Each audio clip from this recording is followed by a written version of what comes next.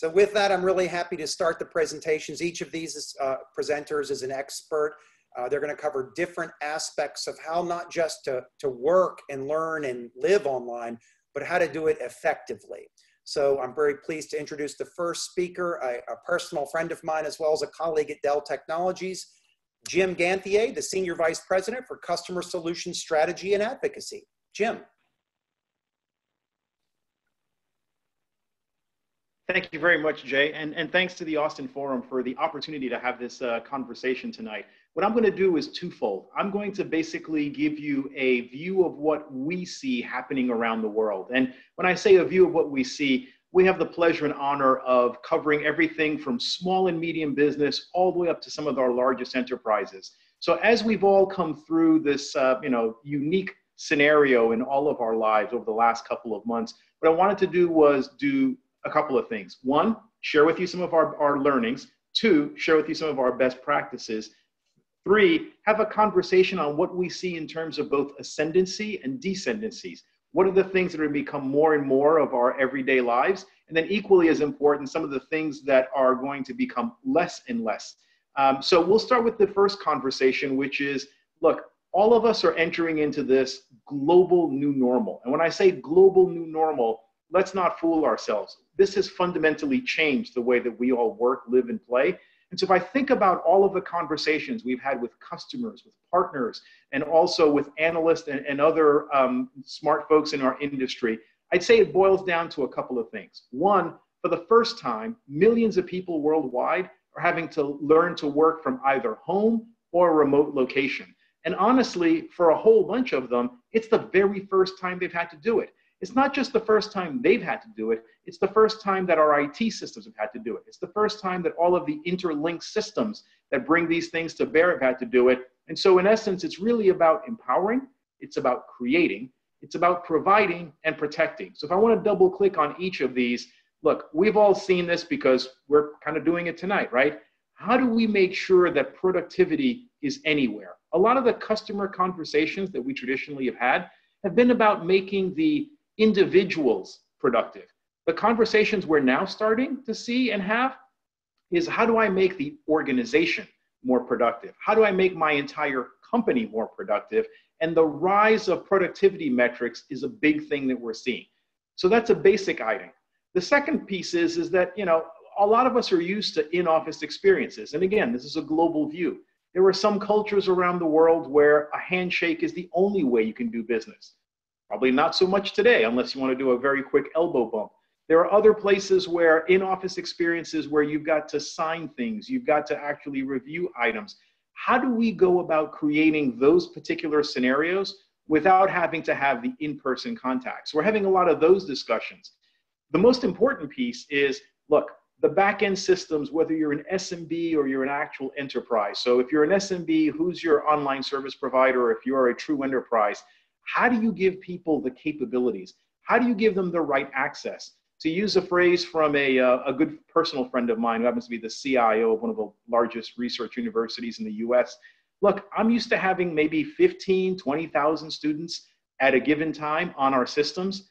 In two days, I had to accommodate 50,000 kids. And I had to make sure that the data that they've got is not just data that typically is protected behind a firewall, but how do I ensure that the data on their laptops are allowing them to do what they need to do? And then last but not least is cyber threats. Um, Jay knows this story really well. I happen to have the honor of being an executive sponsor for a 600 year old university in Europe. And you know, one of the things that they're quickly finding out is in times like these, the best and the good starts to rise. Also, bad actors start to rise. So this particular university was being targeted by folks who said, look, you know, if you want to access your classes, please go here and use your login as usual. That login went to a scraper. You can imagine all the fun things that happen. So as we think about this global new normal, if we think about what are the things that we all have to take a look at, it's really about the different layers of complexity. We're going to have to accommodate different workforces and needs. We're going to have to make sure that it's accessible to everyone and everyone from disability or differently enabled all the way up to folks who may or may not have access, which you'll hear from some of my peers who are going to cover these pieces. How do we make sure we have the tools for all the levels? How do we make sure that we have the right flexibility? You'll hear words like spike capacity. You'll hear words like extra capability. And then last but not least, honestly, this is a cultural change. And you know, if you think about the folks who are most at risk, all of us have grown up on technology. To some extent you could argue some of our you know younger siblings and or children this has been normal for them. But try explaining that to a 76 year old who is sitting in a nursing home. How do we make that technology accessible? How do we help them with the cultural pieces? And then last but not least is the overarching budget piece. So just to give you a feel and to set the table for the rest of the presenters tonight that's kind of what we're seeing at the new global normal so Jay, if you go to the next one, please. Here's the next thing, is that once you've taken a look at these are the things that you need to be careful of, there are some best practices. And again, whether you're an SMB, you should be asking these of your online solution provider or your actual solutions provider, or if you're a large enterprise and you wake up like we do, making sure that you know some of the largest companies in the world are doing well.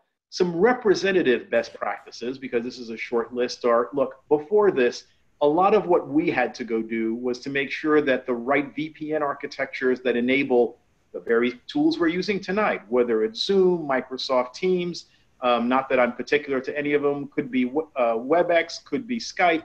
All of those things had to have a back-end modern VPN architecture.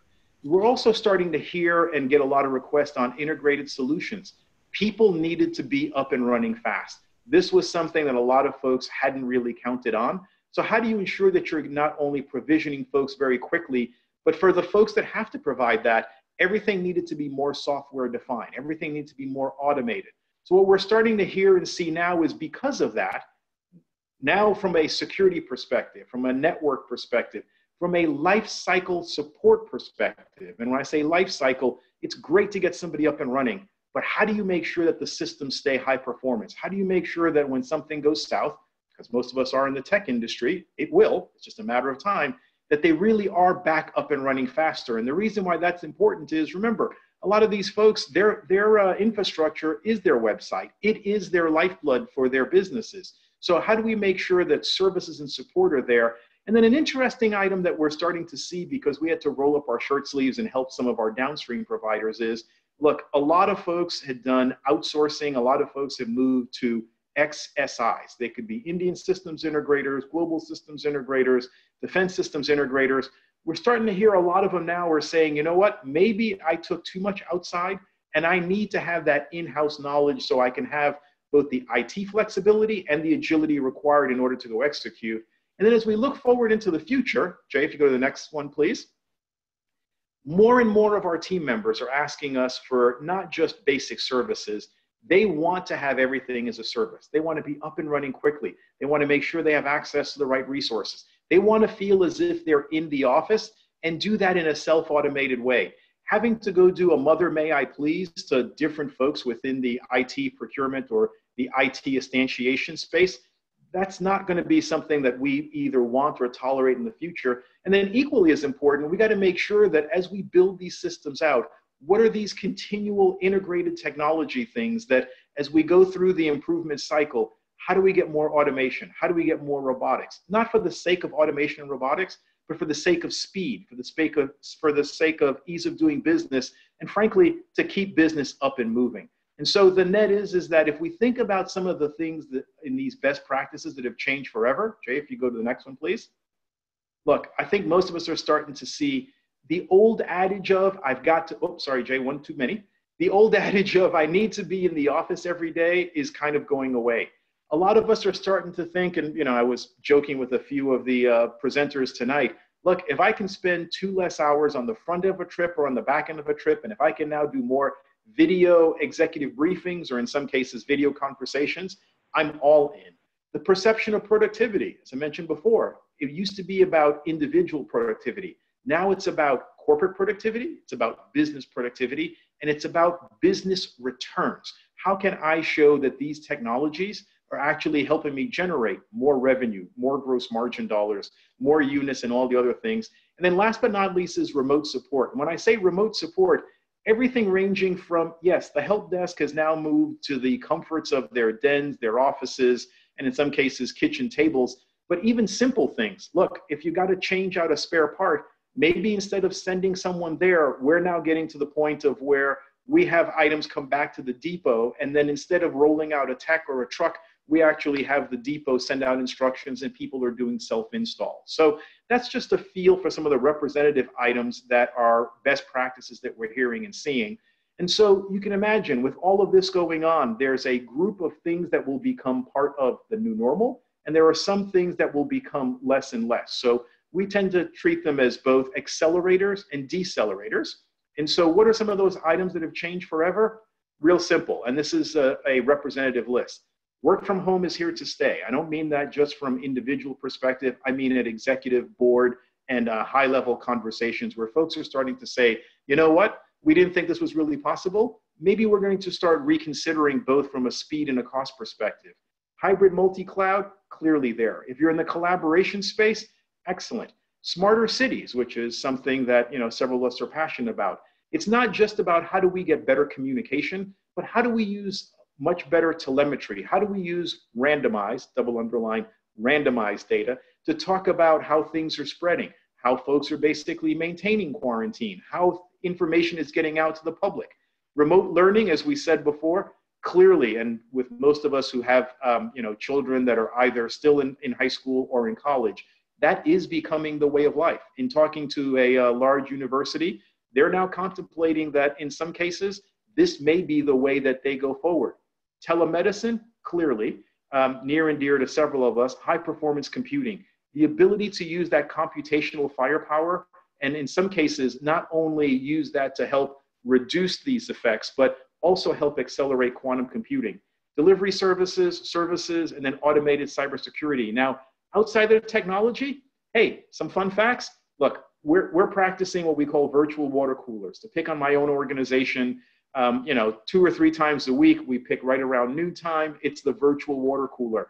My boss and I and some of our peers, we have virtual happy hours. I'm sure poor Jay would prefer for it to be in real life because he's actually my uh, my whiskey Sherpa. But the net is is that other folks are able to do that. And if you think about the things that are becoming less and less, airlines, cruise ships, hospitality, this whole idea about open office concepts. We've had several customers hit us up and say, you know what, maybe an office or a pod is a really good idea. Malls, in-person markets, beauty services, those are items that we need to seriously look at. Is there a fundamental change required? And again, from a social perspective, hey, look, you know, this is a great forum. This is a wonderful event, but we need to really rethink through face-to-face networking and in some cases, socials, and uh, as I alluded to, happy hours. So with that, I just wanted to give you a feel for what we're seeing in the global industry, what are some of the best practices at a high level, and then some things that are going to both accelerate and decelerate. So with that, what I'd like to do now is turn it over into Amber, who's going to tell you a little bit about uh, you know her perspective and a little bit about the Austin Technology Council. Amber?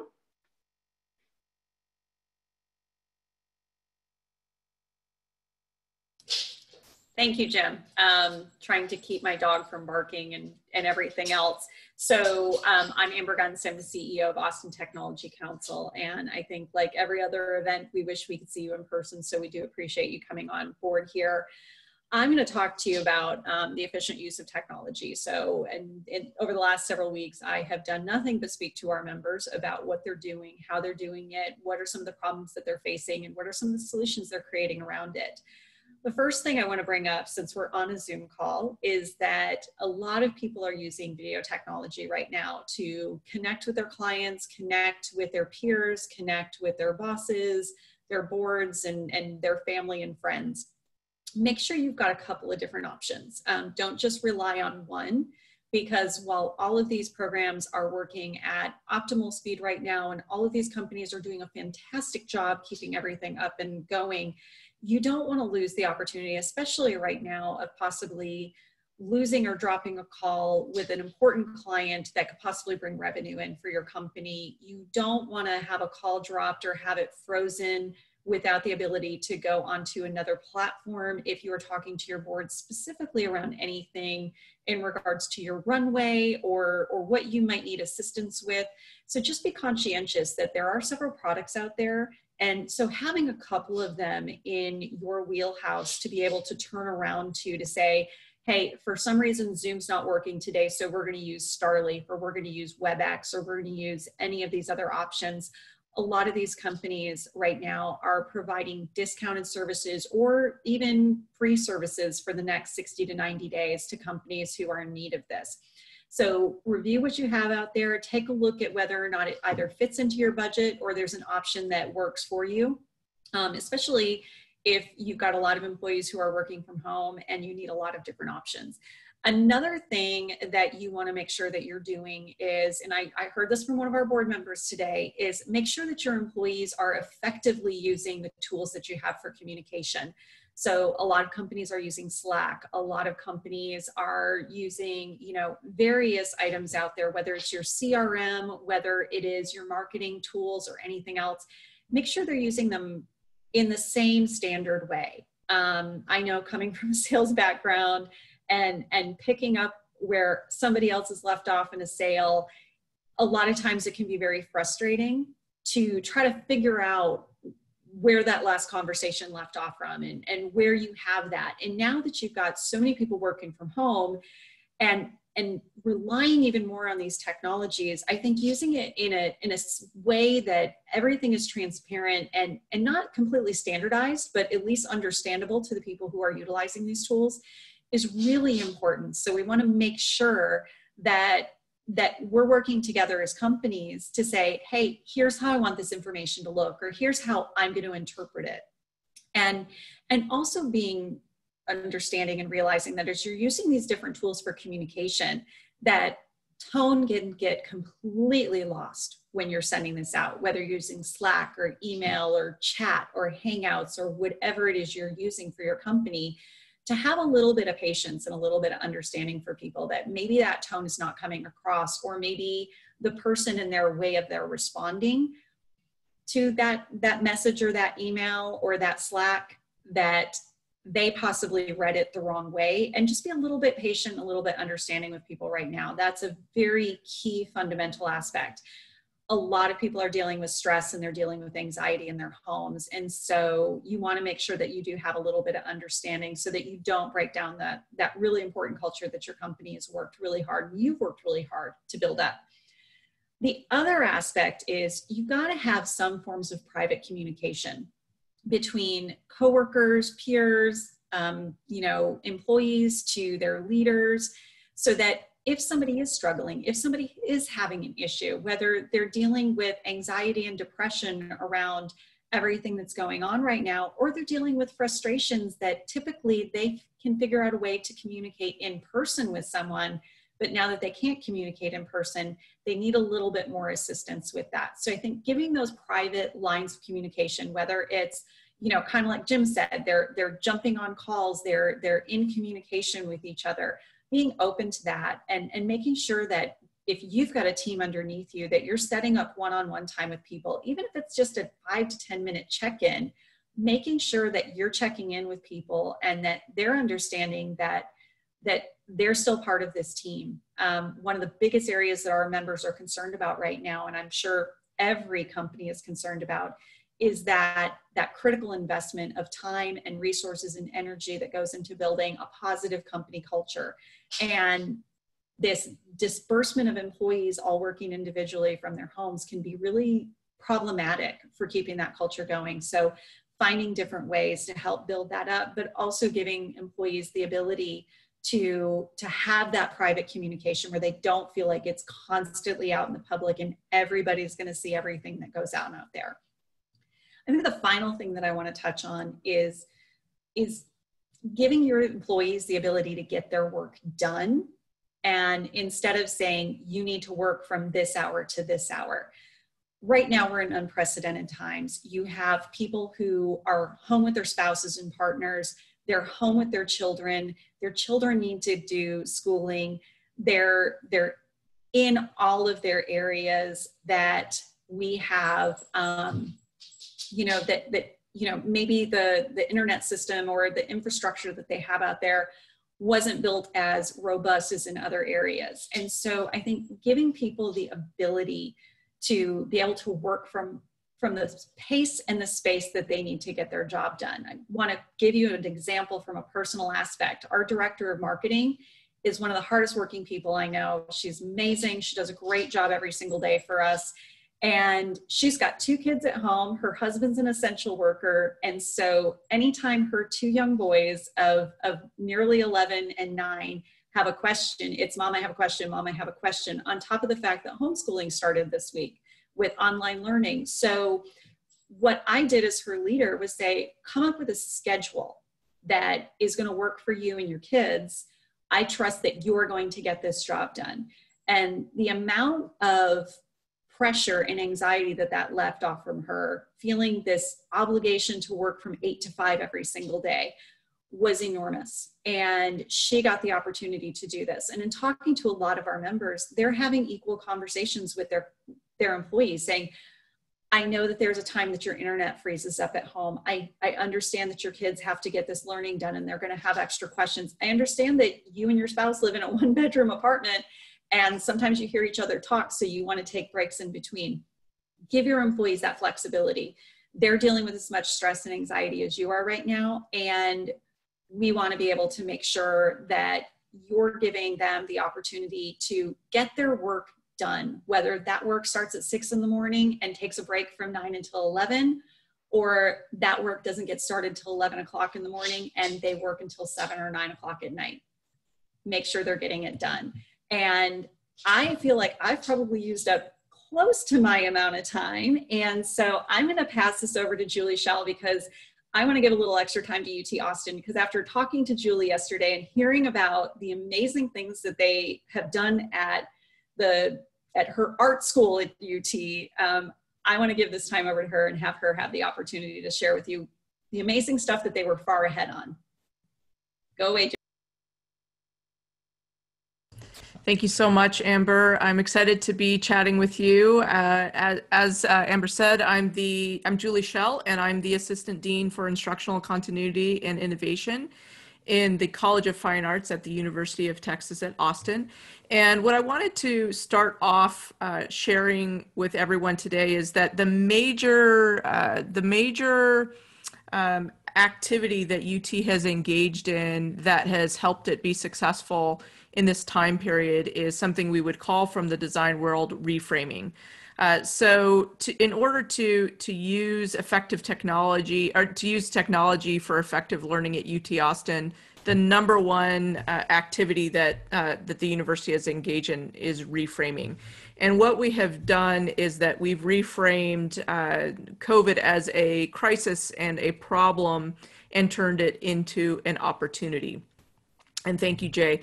Um, so so instead of thinking uh, about uh, you know, viewing viewing this as a as a as a crisis and a problem, UT very rapidly turned this into a design challenge, and it is a pretty wicked design challenge. Uh, how do you, within 14 days, um, design access to not just learning continuity, but UT quality learning uh, to 49,058 remote students? Um, and uh, that that was the challenge that was posed to our uh, approximately um, uh, you know uh, 5,000 faculty members. Um, so this is this is something that we've we've done here at UT and uh, if you're taking if you're thinking about how can I be successful um, in this time period regardless of your uh, regardless of your organizational type, thinking about how to turn these problems into opportunities um, would be a great first step. And I want to share a little bit now, and, and Jay, you can advance me to the next slide. Some of the questions that we asked. So, um, as as a uh, as a design challenge, uh, we posed several how might we's. Um, the first how might we is how can we ensure that all of these 50,000 students have access to learning continuity? So at, at the university, we are considered, an, uh, learning is considered an essential activity like going to the doctor, uh, like, uh, like um, uh, going to the store. So we had to instruct, instructors are considered in, uh, essential staff. So we had to very quickly figure out how we were going to continue um, making sure that students had access to their learning. We were not going to just cancel uh, their education for the rest of the semester. So the first question that we that we had to to uh, to ponder was how do we provide access? And immediately our leadership decided we are going to go 100% online. Um, and that was uh, the, the response to that. And then the different um, uh, ideas for how we were going to do that flowed from that. The next question that we asked if, uh, was, okay, now that we know that we're going to go 100% online, how are we going to sure that there isn't, that the digital divide doesn't disrupt uh, students' um, uh, learning continuity?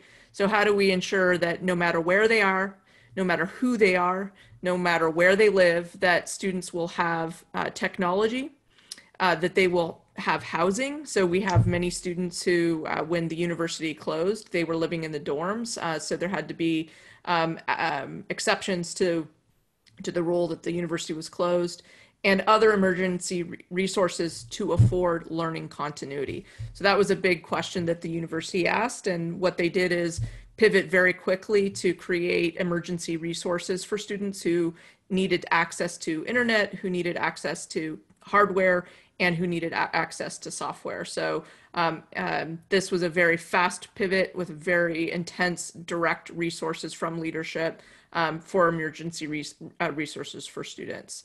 Um, the next uh, uh, reframing that we asked is, okay, so we know we are going to put 100% of the courses online. We know that we're going to make sure that we have resources to bridge the digital divide. Now, how do we make sure that faculty and student um, content and experience is secure um, in a 100% virtual learning environment?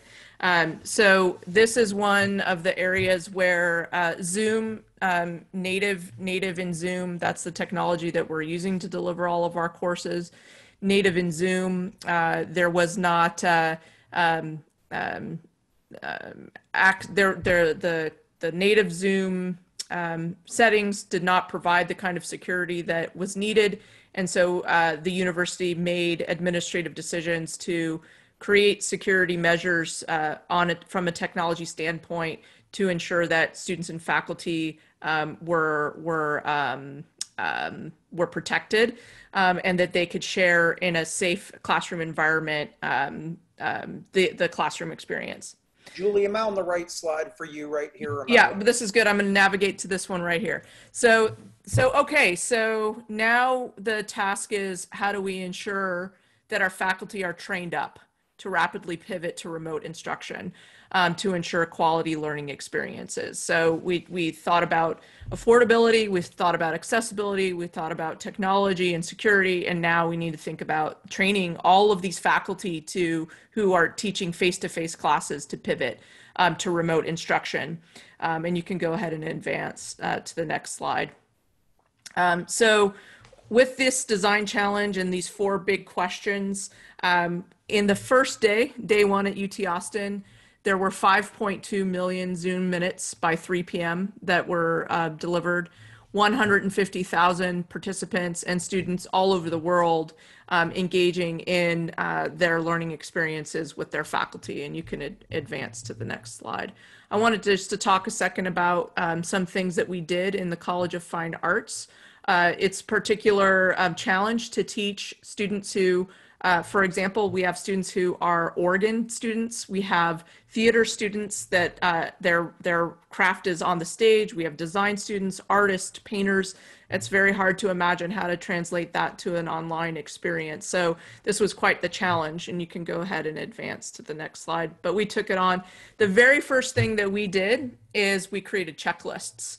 So we realized that faculty were going to need to have a very simple um, and easy way to uh, get up to speed on the technology. And then we realized very quickly that there were going to need some pedagogical support or some support about how people learn effectively online. So the very first thing we did is um, uh, we use I'm a big checklist manifesto fan and I created a, a very simple checklist um, for our faculty um, and and distributed that. And then annotated that, and I'm going to share that in the chat here in just a moment. Um, so one of the, the quickest things you can do is create checklists to help navigate people um, and help them um, get up to speed really quickly. And that's what we did for our training, both in terms of Zoom as well as pedagogy. And you can go ahead and navigate to the next one, and we will share that checklist out. Um, we also implemented an acuity-based staffing model. So like hospitals do, where they send uh, the, the staff to the sickest patients, um, we, uh, we staffed up uh, to deal with training for our faculty, and we held synchronous pedagogy focused training sessions. We served 500 participants in the span of a week. We started holding one-on-one office hours, and we did uh, technology and pedagogy demonstrations. And this is one thing that we did. We made sure that we didn't just run technology training.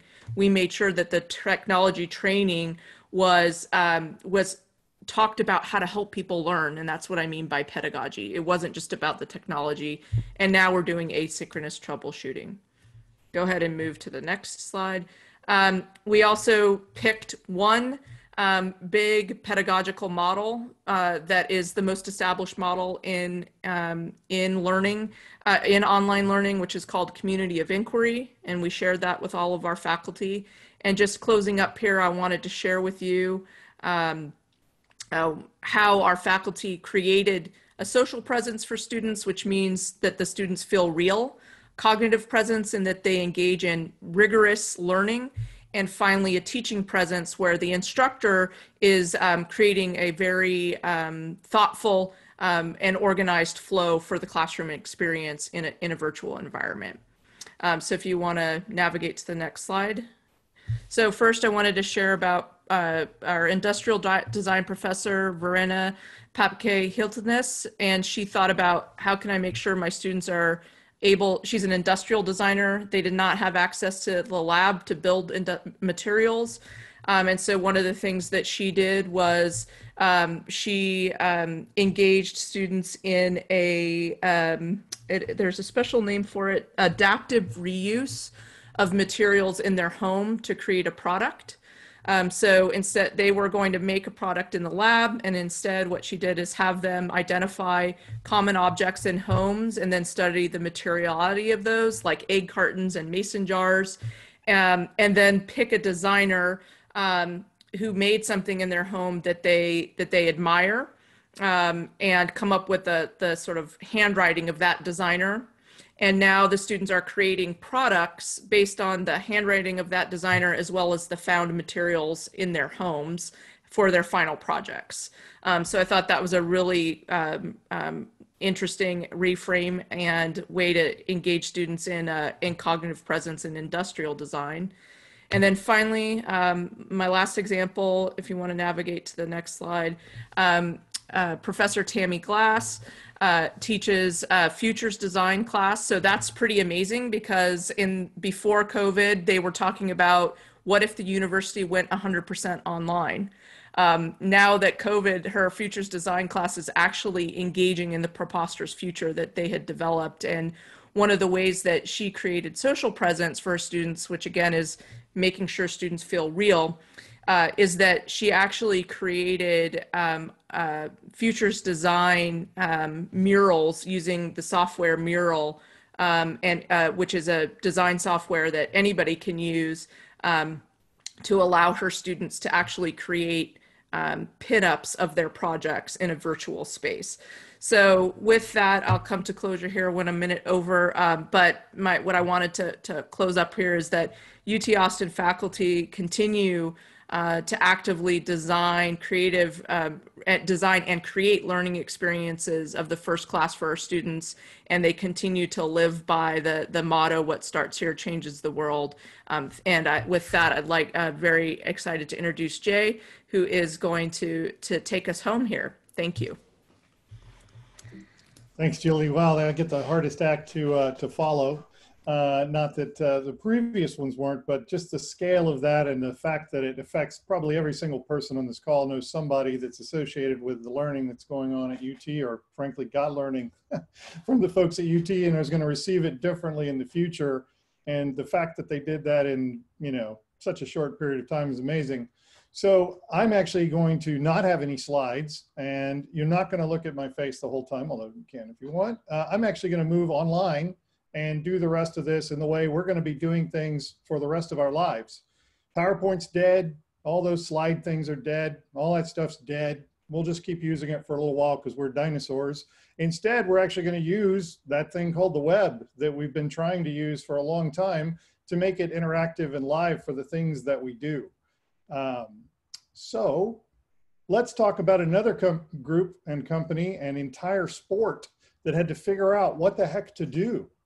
Hey, guess what, guys? We're not going to have football. We're not going to have basketball. We're not going to have soccer. But more importantly, we're not going to have F1. What? We did we just build a track?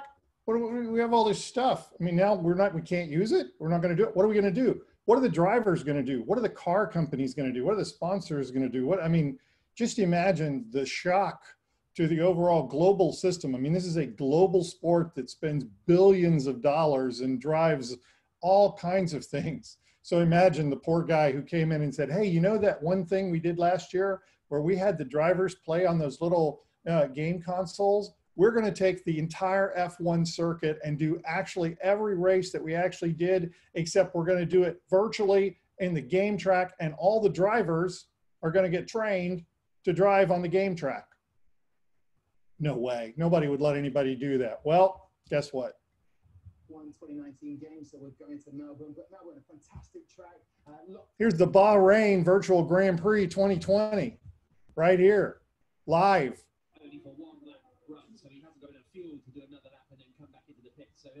return to the pit lane as he does now and uh, get that fixed. Luca Salvadori, then, the Italian former motorbike racer, is uh, in fifth place at the moment. So we've now.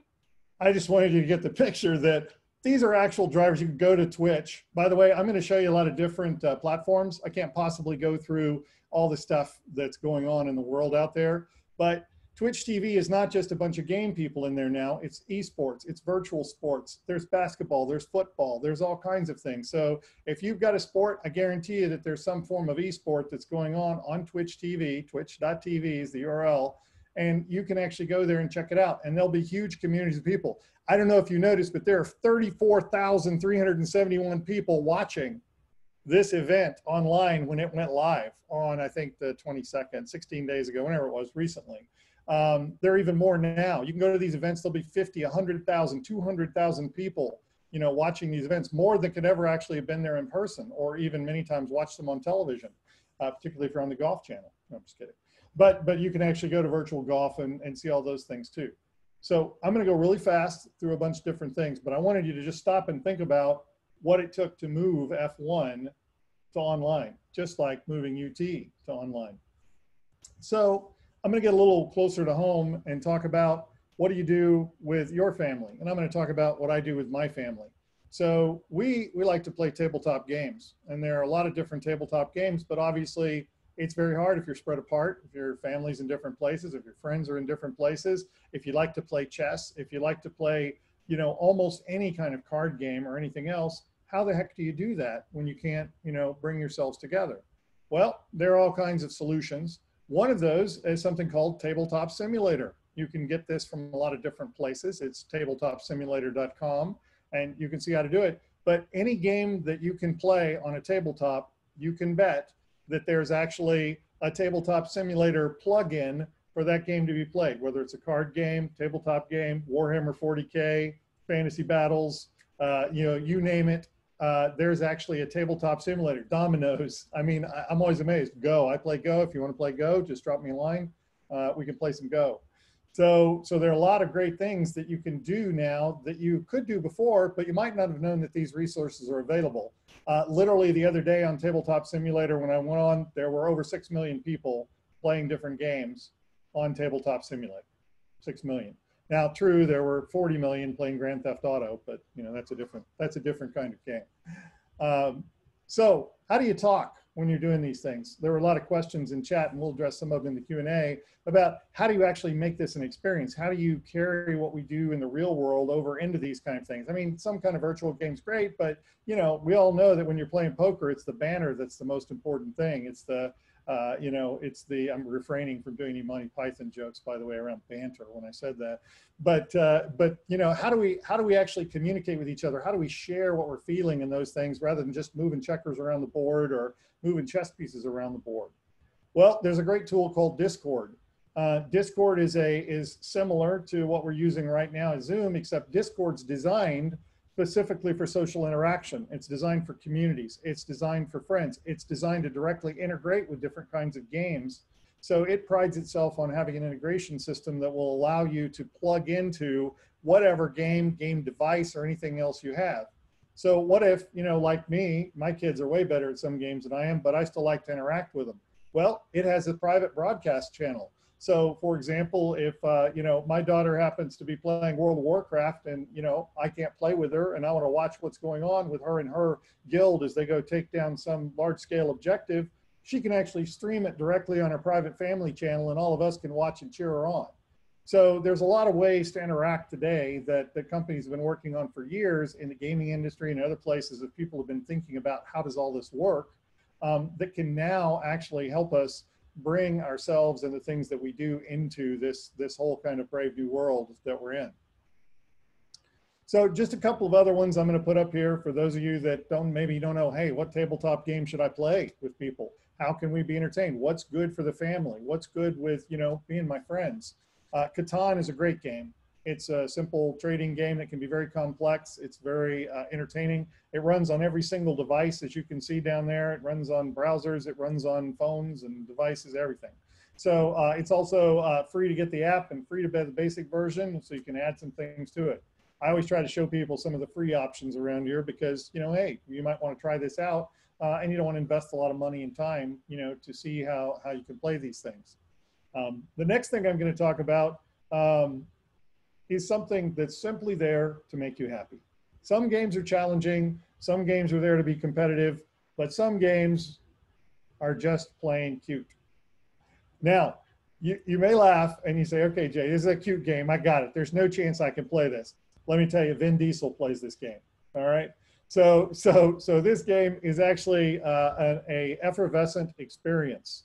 So you might not be able to go out and hike mountains. You might not be able to go out and you know see your favorite view of the shore or anything else. This game recreates it by putting you with a bunch of animals on an island. By the way, it's full multiplayer too. If you want to turn on the multiplayer piece, there are literally millions of people playing this all the time that'll be willing to come help you build your little house on your little island and everything else to do. So if you need to get the heck away from COVID-19 and you need to stop reading the news and you need to stop doing all those things, it's a great way to, uh, to, to get out uh, and, uh, and check it out.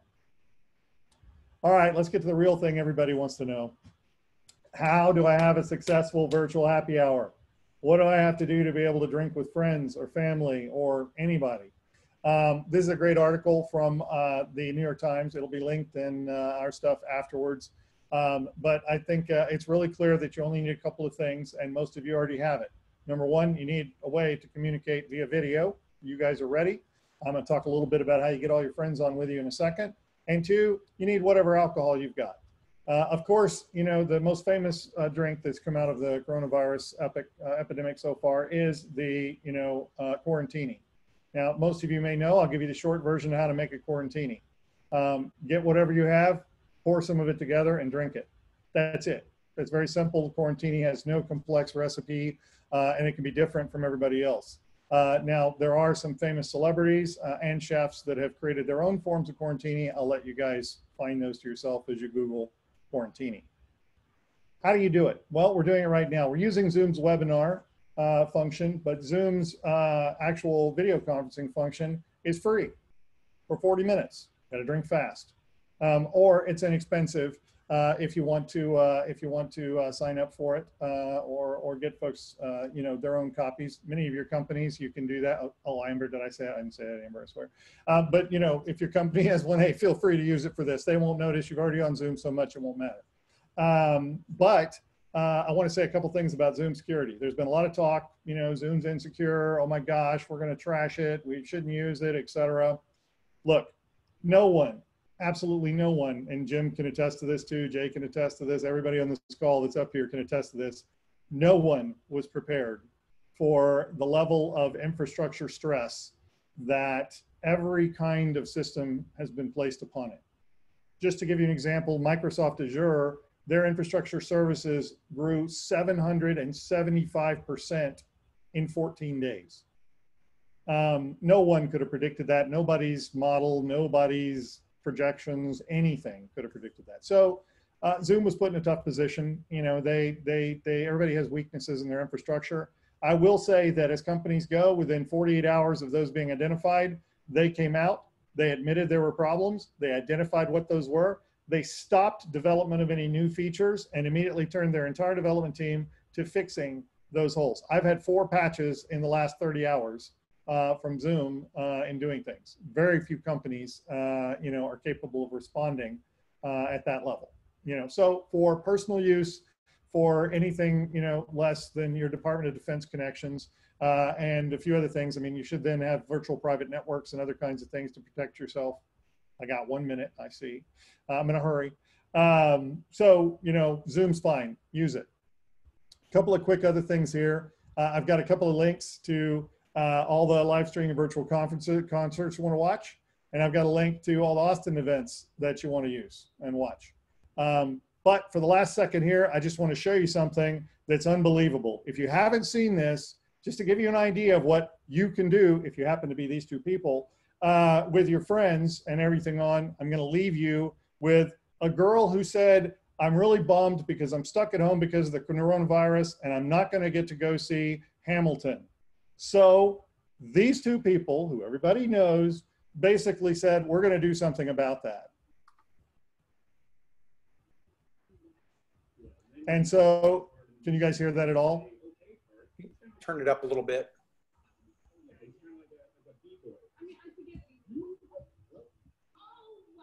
Second. I was in Wow. Hopkins. When we want Miranda, he just won. Oh, wait.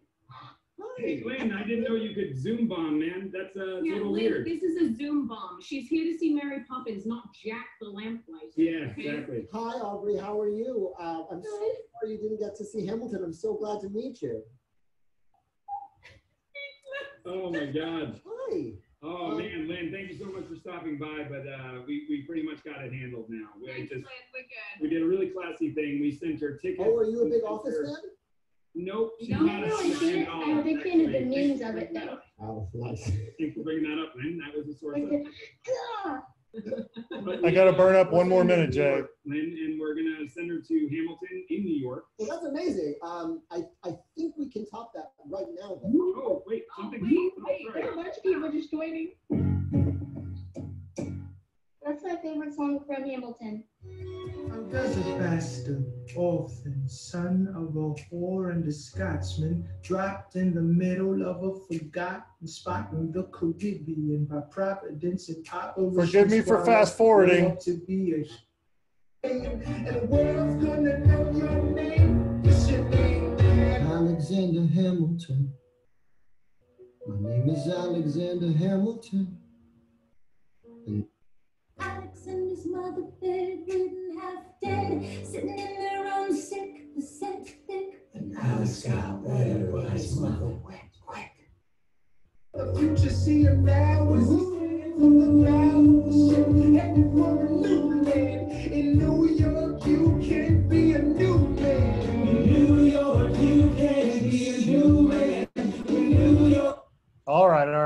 So I know Jay's getting nervous, but for everybody, go watch it because you know that's the example of the great things.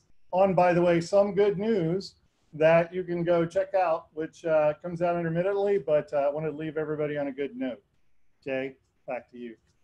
All right. Thank you, Jay. And thank you to all the panelists. So, as is probably to be expected for our first Zoom based event, we have run just a little bit over, but we are still well under the schedule for our normal in person events. I do want to still have some Q&A here today. So we're very fortunate that Adnan Khalil, also from Dell Technologies, is going to pick a handful of questions. We hope you can stay with us.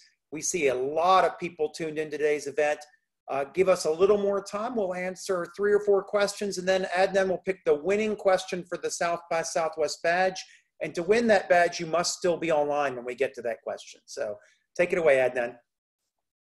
All right. Well, thank you very much, Jay. Okay, so uh, lots of great questions, as you could have seen from the question Q&A box. We had uh, people that were typing in, you know, very relevant questions. All right. So for my first question, um, this question from David Root, and he wanted to know, how can non-native English speakers, English as a second language, be fairly treated and effective in these new environments? These new communication methods can cause further problems for those folks.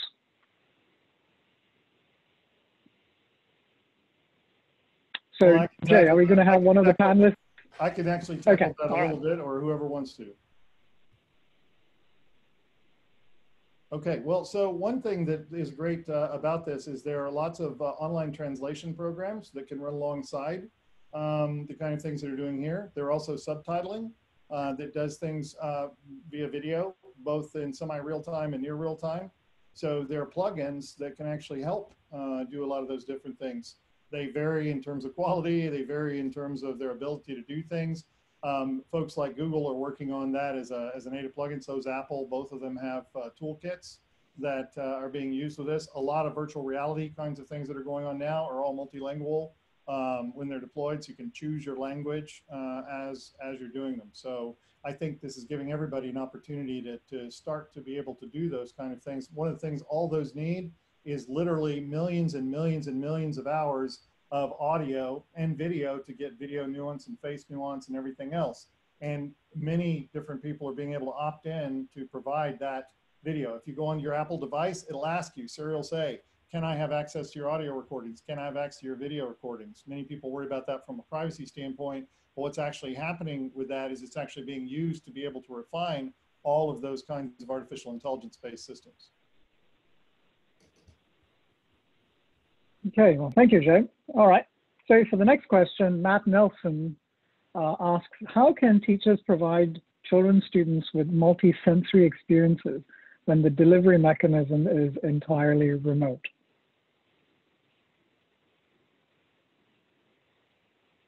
So Julie, would you like to take that? that's Julie's. Sure. Um, I'll, I'm happy to, to jump on that one. Um, so I think that uh, our, our um, example of our industrial design um, faculty member uh, was a really good one in response to that. So providing multisensory experiences for students, um, finding ways for them to engage by using materials that they might find in their homes um, to to engage in um, project-based work.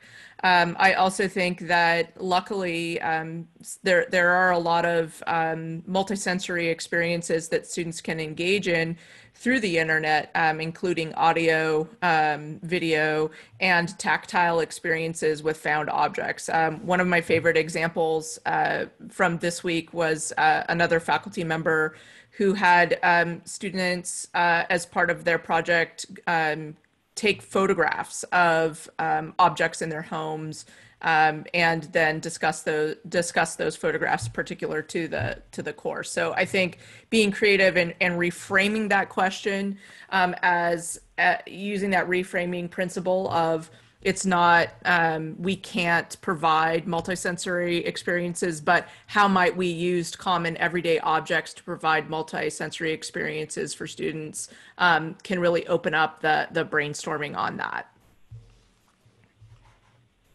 Okay, thank you very much, Julie. Well, this next question from Heather Pogimanis has Jim Ganthier written all over it. So Jim, if you're ready, how do you keep your company culture as a differentiator in a tight tech market? Wow. Um, so there's multiple ways to go do that. First of all, the way that we keep our culture together today is something that we call culture code. Culture code was actually written by the majority of the uh, Dell employees. And it talks about the things that we not only hold as high values, but the management aspects and also the individual aspects to do that. The other piece is, you know, in today's world or in the new normal, there's a whole bunch of things that have been occurring. But I think probably the, the best advice I could give everybody is one, constant, early, often communication with your teams, with your leadership, and in some cases across the companies. Uh, you know, probably the first week that we were ordered to uh, stay at home, there was a conversation with the senior leadership team, which was asked to be cascaded to pretty much every employee. So making sure that you maintain that, that, um, that personal touch, making sure that the things that we hold dear, I'll give you a perfect example. Uh, you know, I got a couple of emails today that talked about how multiple members of our team around the world were helping everybody from educational customers all the way up to and including some of our government customers. If you want to talk about interesting, try dealing with a group of individuals who traditionally have to be in the office because of the computational firepower they have. And by the way, you're not allowed to leave the facilities with any of the things that they tend to work on. So um, having a good cultural base while we were still quote unquote being in the office and really making that part of not just what we do every day, but frankly, who we are, actually making it part of your success metrics. And then even if we're not physically together, ensuring that through communication, constant touch, and in some cases, just you know, real world examples and sharing and being there for each other, that's how you maintain not just the culture, but honestly, you maintain the ethos of the company and not only what we do, but who we are. All right, thank you very much. Thank you very much, Jim. Okay, so um, God, there's so many good questions. I'm having a tough time. Jay, how much time do we have left? Adnan, before you move on from that one, I'd like to hear if Amber wants to add anything on that one too, because she represents companies that have over half the tech employees in town. And so she's probably heard some interesting things on that last question as well. Yeah, I think the most important thing, again, like like Jim brought up, is that communication aspect and, and having many lines and many forms of communication. There are going to be some things that work for some people and some things that don't, especially when you're talking about your leadership team. A, a lot of us executives we're having to make really difficult decisions right now, and and there's there are some people out there that like to do the hey gotcha moment um, specifically in the press and, and on popular blogs and everything else, there are going to be some things that your leadership team can be completely transparent with you about. There are going to be other things that they can't from a legal aspect. And so I think maintaining that open dialogue and maintaining that open communication and also being patient with them and being understanding that they're trying to figure this out and, and not to be detrimental to you as a personal individual, but to try to salvage and save the company and to possibly even be able to bring you back at some point if they do have to go to a furlough or a layoff. So I think just being understanding that this is something no, I mean, we should have seen coming back in January when this hit widespread in Wuhan and we had the first case here in the US. Woulda, shoulda, coulda on that one but the reality is everybody's trying to adapt everybody's trying to deal with it right now. So instead of looking at company leadership or your individual boss within the company and trying to find gotcha moments on that person be open be understanding. This sucks for everyone. There is no one that i've talked to that has said this has been really good for me and my company. Um, every single senior level executive and every single CEO that I've talked to since March, their number one concern is their employees and, and being able to keep their employees and being able to keep the company healthy for those employees. So open lines of communication are important, but also understanding when your senior leadership cannot have open lines of communication for you. They're usually in that mode of they're trying to do something in your best interest but if they start talking about it, it could possibly derail it. So just understanding and patience right now is the key thing to do. So related to that, Amber, uh, there's a question from Bruce McGraw, and he would like to know what are the top actions processes that a manager needs to do in order to manage remote virtual workers? They're learning that every day. um, I, I, I think the number one thing is is reaching out to employees individually to figure out what tools and what resources are working for them and what are not. Um, also figuring out what communication styles are working for employees and, and what communication styles are not working. Um, having really transparent and direct conversations about that. Um, a lot of people are sending me Slack. To me, Slack is just like ADD on crack and, and it drives me a little bit insane. I, I will go on there, but it's it's like it, it just doesn't work for me. So when my team said, "Hey, we'd like to adopt Slack," I was like, "No, that like that's going to frustrate me, and I'm going to get annoyed." And so we found that Google Hangouts worked for us, and so being able to use Google Chat and Hangouts that worked for us. Um, you know, and, and, and letting them know like, hey, if you text me, I'm going to get back to you so much faster than if I'm going to use Slack, but also understanding that sometimes I'm on the phone or I'm responding to emails and I'm not looking at my phone to see text. So that's where we came to that that commonality on on how we were going to communicate with each other.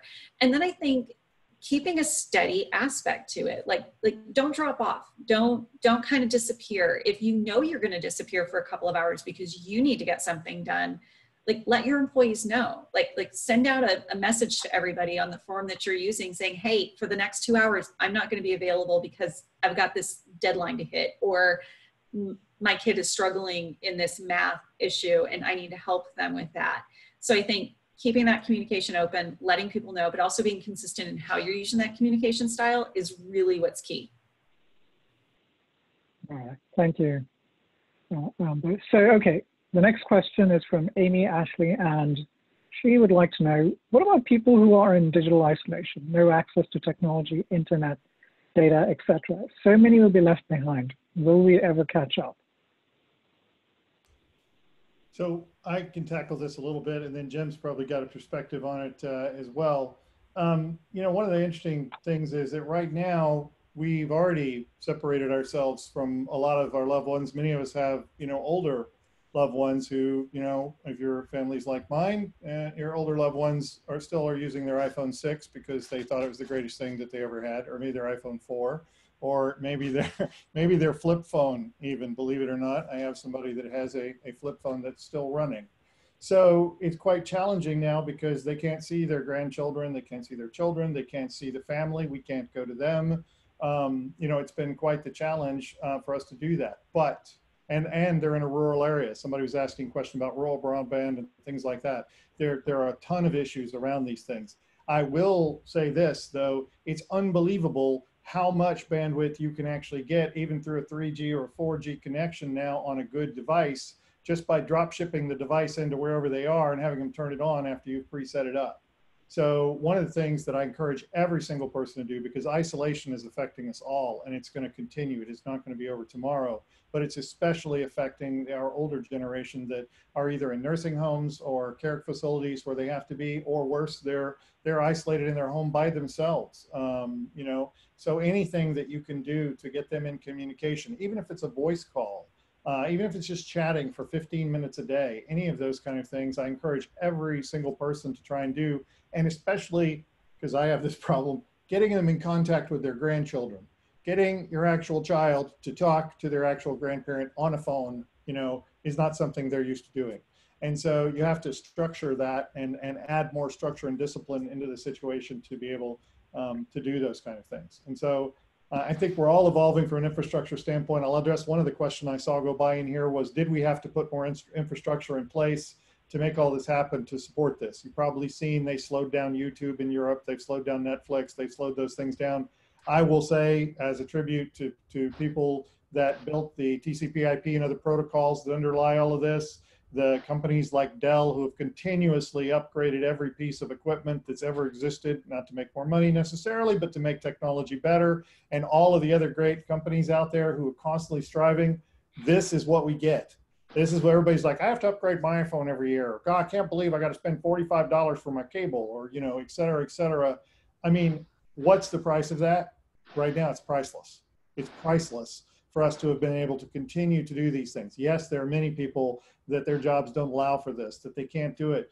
But even because 40% of the population can still carry on with the things that's doing, because we can communicate, because we can make things happen like ventilators, like all the stuff using all of these kinds of things, you know, it's priceless. And so, so it's been, it's been unbelievable how far we've come, you know, to be able to do this. 10 years ago, this would never have been able to happen. Yeah, I mean, uh, to add on to Jay's point, staying in touch takes on many forms. There's the everything, if you want to think about it continuum wise, from just a phone call where you don't have to be as elegant or as modern as we're doing here, to uh, you know some simple examples. I'll give you a, a, real world case in point. I think one of my favorites is we wound up doing a lot of work with I won't say who, but a particular uh, healthcare organization. And frankly, what wound up happening is they didn't have to learn anything new. We always had this assumption of people have to learn how to quote utilize new technology look, you know, we wound up taking a whole bunch of used um, tablets and or PCs, got them all set up and running, and all the person had to do was walk into this particular elder individual's room, put it in front of them. They saw the picture. They started having conversations. So um, let's take two optics. One is, hey, look, staying in touch can be everything from a simple phone call for the technology. And by the way, if it happens to be the technology, let's not force them to make anything that they have to learn that's new. Let's just make the technology transparent. So, in essence, they get to use it without having to become tech experts like all of us. All right, before Adnan asks the final question, the question that will win the badge to South by Southwest 2021, want to ask Jessica really quickly just to share the special event that we've scheduled on Zoom for two weeks from tonight. So Jessica, can you remind everybody what we're going to do that night? Jessica? Jessica, you're on mute. I'm sorry, I was muted in two places, not just one. So tech being similar. Um, two weeks from tonight, we will have a special additional Austin Forum event online, clearly, on tech for health and well-being during these crazy COVID times. So we are we are confirming a speaker with Baylor Scott and White, thanks to Amber Gunst, uh, who connected us about mental health. There'll be physical health and emotional health and how to maintain and even thrive in those areas with technology, in spite of technology, um, during these strange, strange times we're in. So I'm really excited about ne- um, the next event. So stay tuned. Uh, an Eventbrite and uh, information will be out for it shortly. We know everybody's going to be sheltering at home, so we know where you'll be. Thanks, Jessica. So Adnan, take it away. Last question of the night for the badge winner. Let us know who won. Drum roll, please. Okay, all right. So the last question is, and the winner is Sanjana Pai. And she asks, do you see this transition to having activities, work being fully online, impact us negatively after the virus subsides?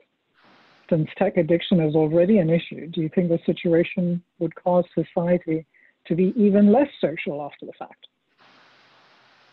So I'm, I'm going to jump in for just a quick second um, because, like Austin Forum, Austin Technology Council puts on events. And, and that's what we do. And our members network in person, and, and that's their preference. There's not one single person that I've connected with over the last several weeks that doesn't miss seeing their coworkers on a regular basis, that doesn't miss getting out in front of people on a regular basis. Now, does that mean that the moment that the shelter in place and the quarantines are going to end, that people are going to rush out and, and go hang out and, and be in rooms of 500 people? Probably not. We're probably not going to see that activity level until late September, early October. Um, from an ATC aspect, we're not putting on any in-person events um, through the end of June.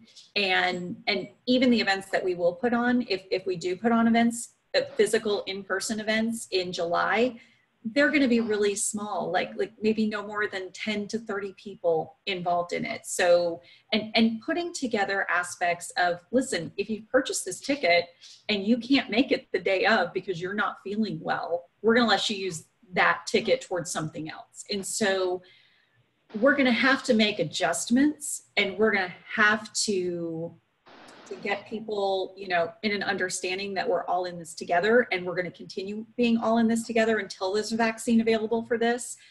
But i think the hunger that people are going to have even even my most introverted friends um, are texting me and telling me how much they miss me and they want to see me in person Hmm. there's still that human connection of seeing people face to face in an action this is great and this is wonderful and you all look lovely but an actual face to face where they can communicate and they can share body language and and all those things that we've just taken for granted for a very long time. So so we'll come back but i think what we're learning now is we don't have to do things the way that we did them before we can find more efficient and more effective ways to do things, especially to create longer term employment for employees and, and to give them a little bit more of that work life balance that everyone needs. But we're never going to get away from people wanting to, to physically be in the same space as each other. We're just going to have to take a little bit of time before we put 300 to 400 people in the same space as each other. Yeah, and then on, I'll add, and then uh, Jay can can give his input too. I, I think what's going to end up happening is what we thought was not normal now becomes more acceptable. Now, will it replace, you know, as Amber was saying, the human touch, the interaction, the you know, being in a room with everybody else? Probably not. But I think we will start to see a shift where if it was, let's put it on a scale of one to 100, 25 was where we were before. It may be closer to 40, 50 now, but it'll never really replace the, you know, sitting down at a table, having a conversation, sharing a glass um, with other folks.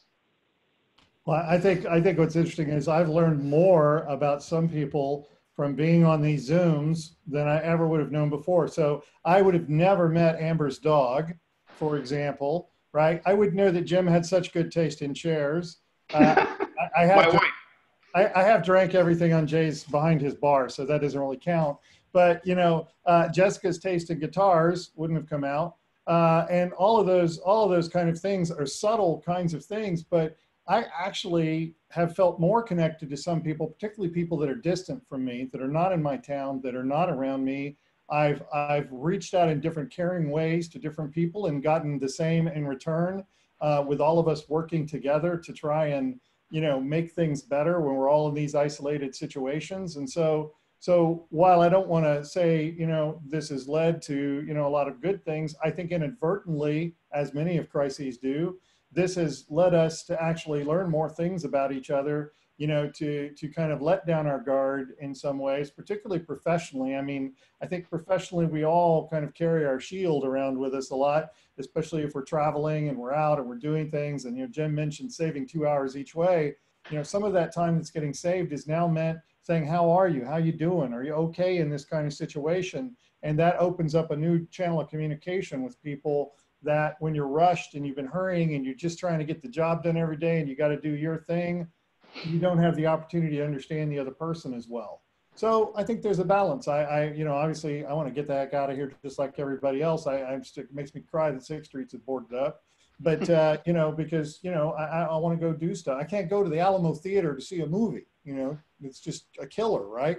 And so, but I also think, you know, we're getting to relate in different kind of ways we didn't before with all of you. I got 166 people out there at the Austin Forum at 737. Y'all would have already been at Trifecta drinking if we were actually at the library.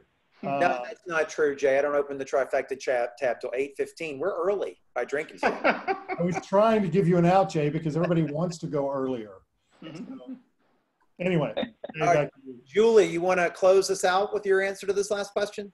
Sure. I think a really important question is what do we want to preserve and what do we want to leave behind? So, for us at UT Austin, one of the things that we're witnessing right now is just an incredible surge of, of effort to, um, to uh, update teaching and provide exceptional learning opportunities using um, technologies and and digital um, uh, digi- digital pedagogies. And so one of the things that we're that's first and foremost on our mind right now is what do we want to preserve um, in this in uh, from this moment and and carry forward uh, with us uh, once we're we're past this. And so I think um, that that's what I would recommend everybody ask is what do you want to preserve and and what is the uh, what is your planning and execution to make sure that you do that. Well,